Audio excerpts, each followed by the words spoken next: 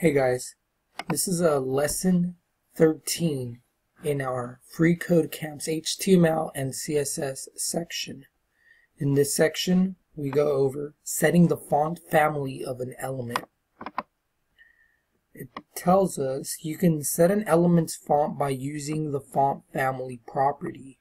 For example, if you wanted to set your H2 element's font to sans serif, you would use the following CSS. And this is our H2 selector. And then inside the braces, the changes we want to do to the font family. And that's what we want to change it to. It says make all your P elements use the monospace font. Okay. So your P element should use the font monospace. So we already have a P selector right here in our style tag that sets the font size of paragraphs to 16 pixels.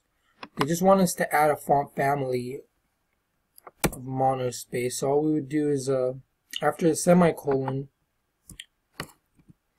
you uh, would just write font family and then they want monospace, so monospace.